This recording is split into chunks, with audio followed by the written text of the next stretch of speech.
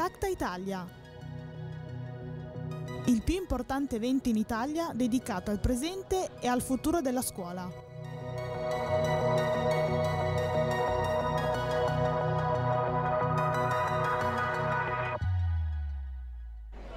Due minuti a mezzogiorno, ultima giornata di Didacta 2023 in diretta dalla Fortezza da Basso.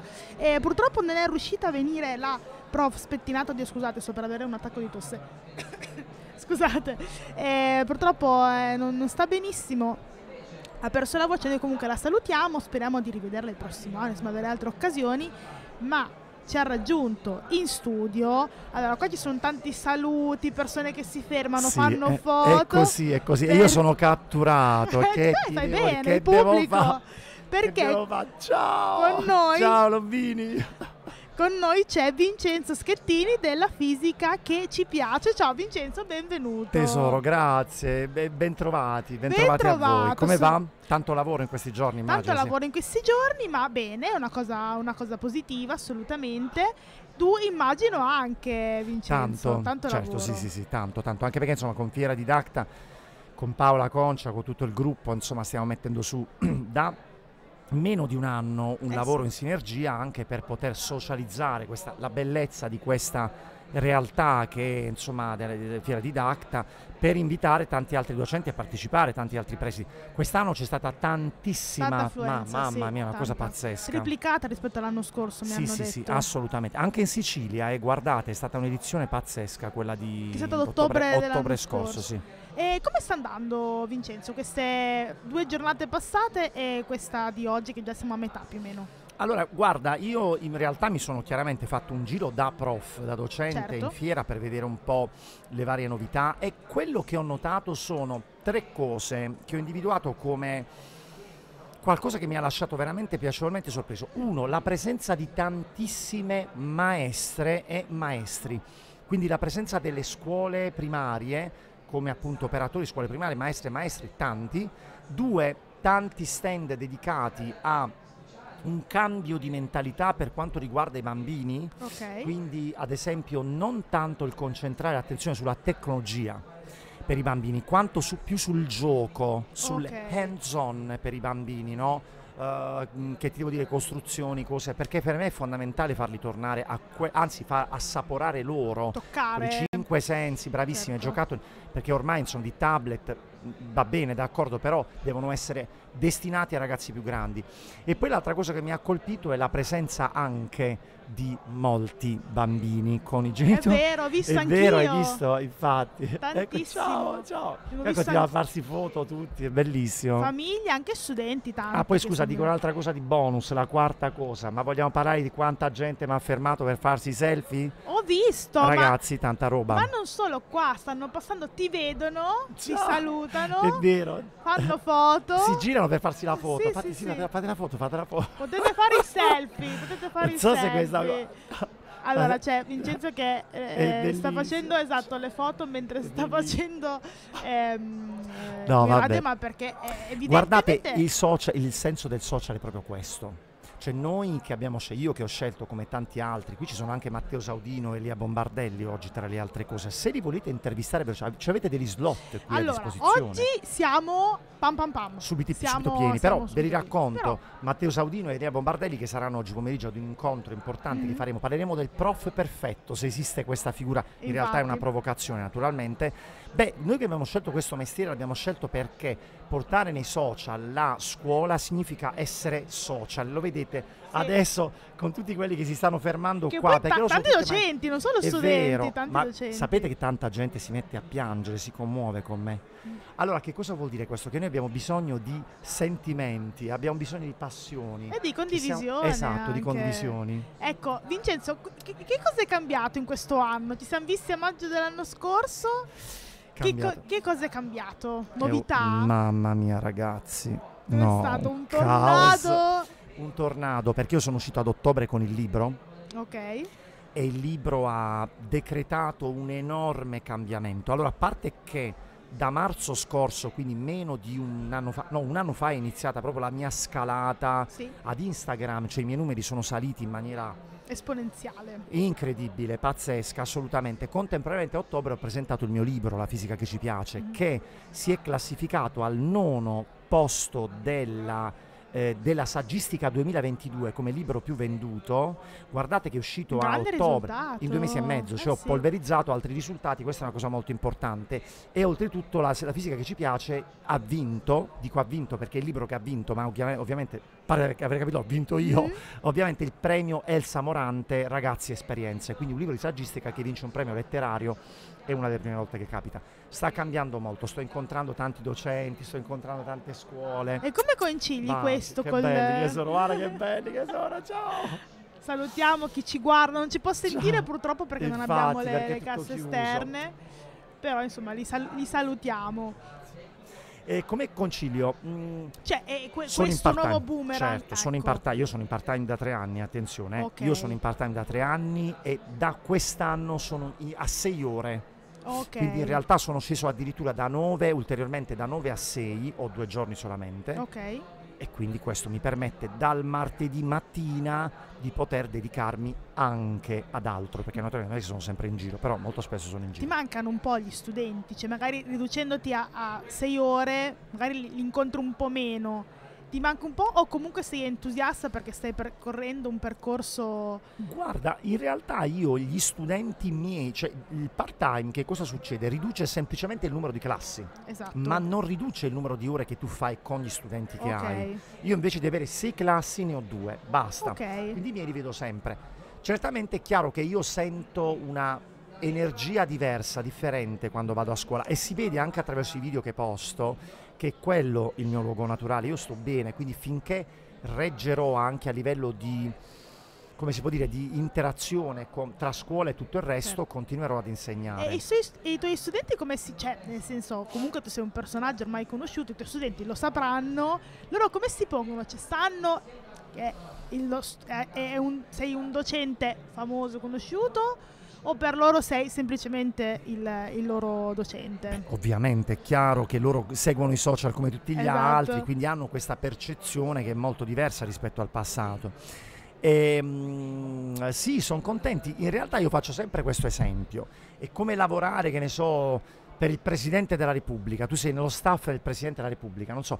Allora questa cosa ti esalta enormemente la prima settimana, dopo un mese sei contento, dopo un Sei sei abituato, mesi sei abituato sì, a vedere certo. il Presidente che passa davanti a te. Ora non voglio dire che io sono il Presidente della Repubblica, ci No, per mancherebbe. dire che Però sono per abituati. dirvi, lo sono abituati, cioè mi Ok. vedono sempre, quindi la mia presenza diventa una presenza familiare, quindi perde un po' potere la figura dell'influencer, cosa che invece diventa quasi isterica in giro, perché io adesso mi rendo conto che l'impatto che si ha con me a volte l'impatto che si ha anche con altri influencer, c'è gente che mi sviene in braccio, tra le Mm. braccia, si mette a piangere, Mm, c'è mm, gente che si sente male, cioè so- è successo di tutto e di più. Ok. E questo mi fa capire che lì ecco, entri in una sfera che, com- che è un po' diversa da quello che è il mestiere che io facevo un, un anno fa, insomma, che, fa, che continuo a fare. Che continua a fare, eh, assolutamente. Part-time, però che continua a fare.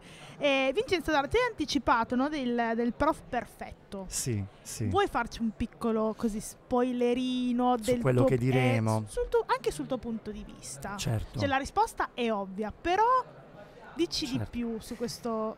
Che ovviamente la figura del prof perfetto non esiste e questa era soltanto una provocazione, questo Certo. titolo, cioè è normale che non esista il prof perfetto, ma che ogni professore può avvicinarsi ad un livello di consapevolezza del proprio mestiere, di felicità di fare questo mestiere, cercando di puntare sulle cose che funzionano in classe e piano piano eliminando tutte quelle che non funzionano, cioè che non, non entrano in connessione con i tuoi studenti.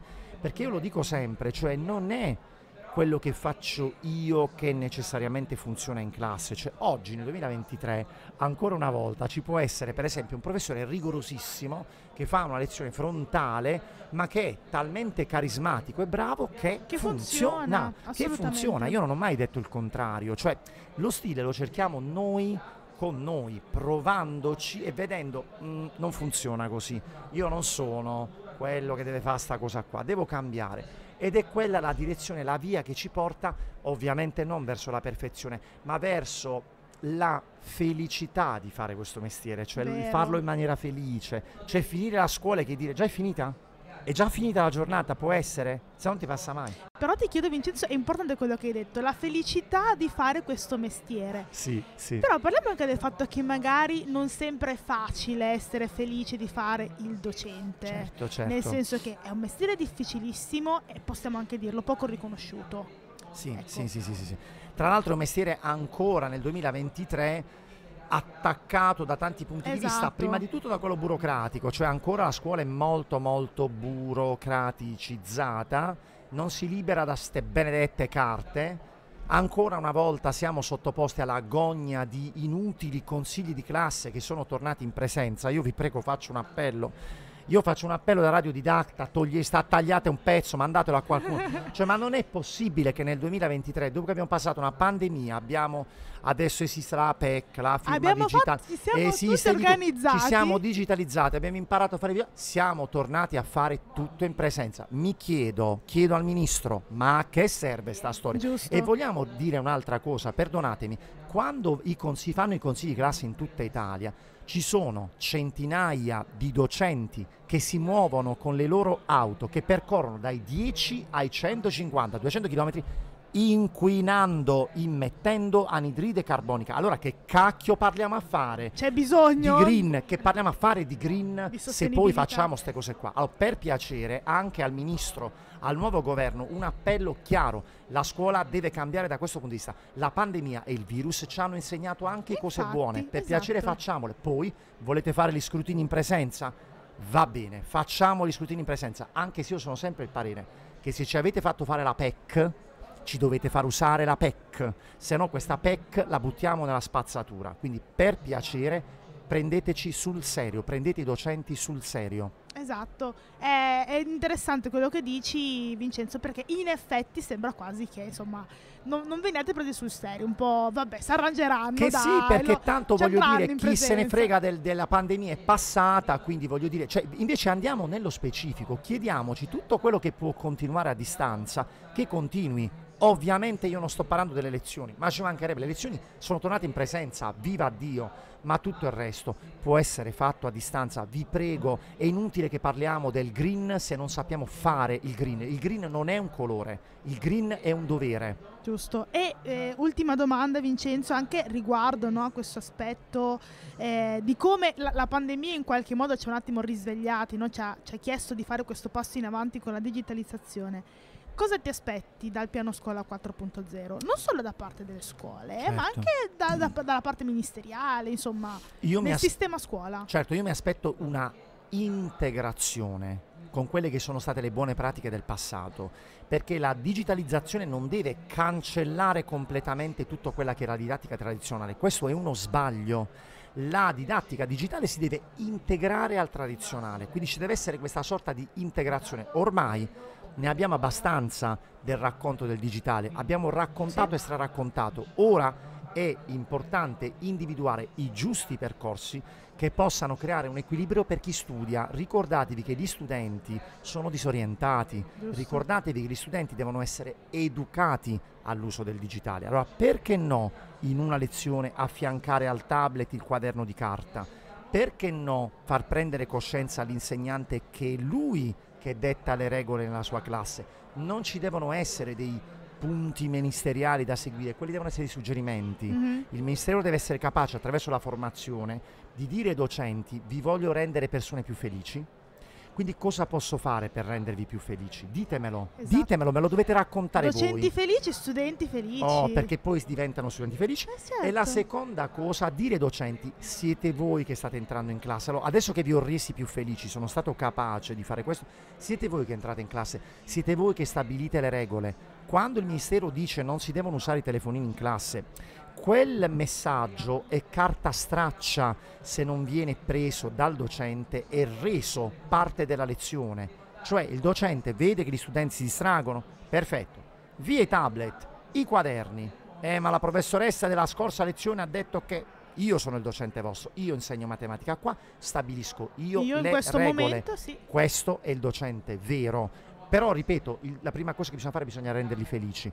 Mi chiedevano l'altro giorno di là quali corsi di formazione si potrebbero organizzare per i docenti veramente nuovi, innovativi. Io ho parlato di corsi di formazione in cui i docenti possano cantare, possano ballare, possano socializzare fra loro, possano esprimersi, possano parlare. Basta con questi corsi di formazione sul PowerPoint, basta su questi corsi di formazione del, del 72, non hanno più bisogno. PowerPoint è online, se vuoi imparare, se non sai usare nel 2023 PowerPoint, vai su YouTube e scrivi tutorial PowerPoint, PowerPoint e lo trovi. È inutile consumare benzina, carburante, andare a scuola e fare PowerPoint, perché vi prego, queste sono prese per il, passate il termine, culo. Mm-hmm. Invece oggi i corsi di formazione devono puntare sulla serenità del docente. Il docente deve diventare sereno e perché no? Un corso di formazione che tiri fuori l'energia di queste persone è importante perché i docenti sono spenti. Chiedeteglielo, sono spenti, nessuno gliele chiede queste cose. È vero, questo è Tutti molto dicono vero. sono sottopagati, l'abbiamo capito, è vero, sono sottopagati, è sempre così. È, è, so, è, vero che sono sottopagati, ma sono anche, siamo anche spenti. La mia energia è venuta dalla rete. Io mi sono riscattato grazie alla rete, ma molti non riescono a fare questo passo. E allora è dovere del Ministero dire come possiamo rendervi più felici. Giusto. Vincenzo ci ha dato un sacco di stimoli e riflessioni su cui soffermarci un attimo, ma non soltanto come docenti, ma anche scuola intesa come sistema, dalla parte ministeriale. Io ti ringrazio tantissimo di essere stato qui con noi oggi, ti auguro un buon proseguimento, guarda qua fuori ti aspettano, sì, quindi secondo me è tempo di aprire la porta. Sta arrivando, sta arrivando. Tempo di aprire la porta vero, e vedrai vero, che vero, ti assaliranno. Io mando un saluto pazzesco a tutti i lovini di Radio Didacta e niente, insomma ci vediamo presto ragazzi. Ci vediamo presto, alla prossima edizione edizione di Didacta. Ciao Vincenzo, Mua. buon lavoro. C2 Group, specialisti in soluzioni innovative per le scuole italiane.